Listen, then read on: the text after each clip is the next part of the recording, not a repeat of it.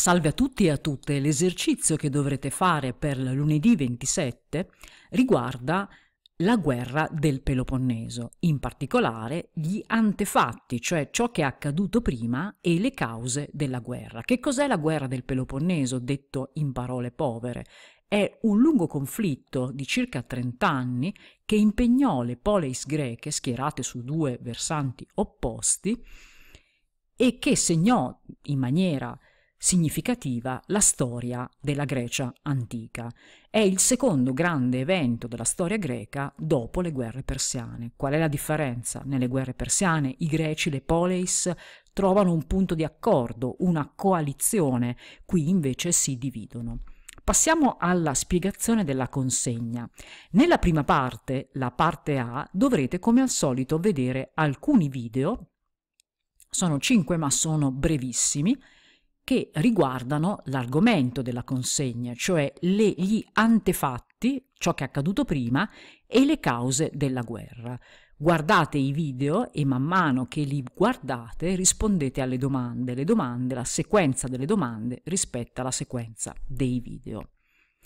Dopodiché dovrete utilizzare le informazioni raccolte nel questionario per elaborare a vostra scelta, quindi potete scegliere o una mappa concettuale, cosa che sapete fare molto bene, oppure un'infografica. Mia, il mio invito è quello di sperimentare l'infografica ehm, che potete creare con l'applicazione online www.easily, easel.ly,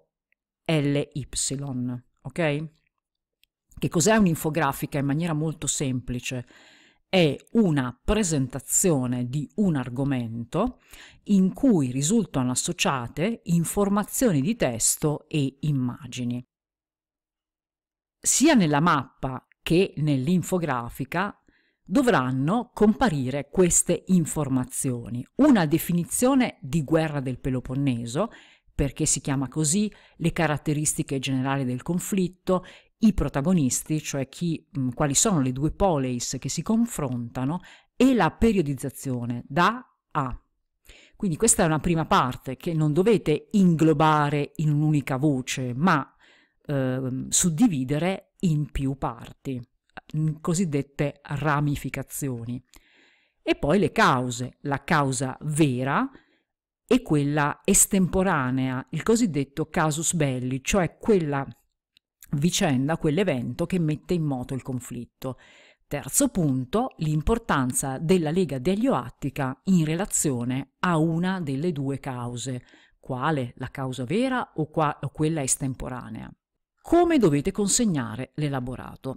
Se fate la mappa concettuale, potete caricare direttamente il file della mappa, che generalmente è un file JPEG oppure PDF all'interno di Classroom, nominandolo in questo modo, cognome underscore, cioè trattino basso, pelop underscore 1 underscore trattino basso.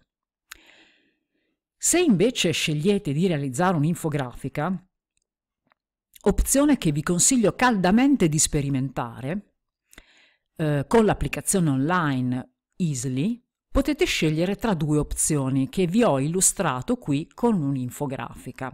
Allora, potete scegliere di scaricare l'infografica che avete creato eh, scegliendo l'opzione scarica, nominare il file secondo la modalità indicata in alto e caricarlo in Classroom come file di immagine, file JPEG o PNG, comunque un file di immagine oppure potete scegliere l'opzione B. Allora, in Classroom non condividerete l'immagine, quindi un file, ma un link. Nella consegna c'è l'opzione link.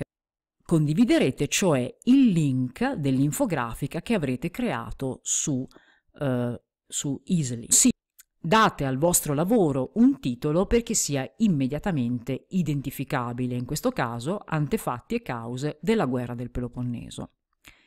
Cosa non dovete fare assolutamente? Inviare per mail l'elaborato o caricarlo nella classroom precedente. Buon lavoro!